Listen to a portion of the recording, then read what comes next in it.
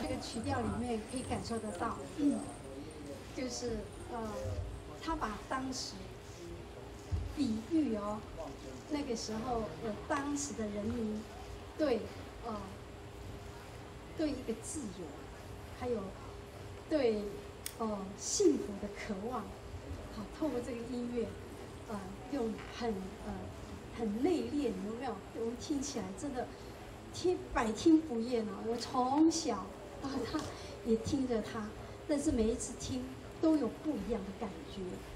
那可以告诉我这一首曲子是谁创作的？一二三，好，邓宇璇，一百分，谢谢。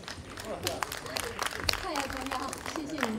对，他是我们一个当时很有名的，他创作了蛮多的歌曲，和包括呃演过那个歌舞剧的呃《四月望雨》，都是他的曲子哈。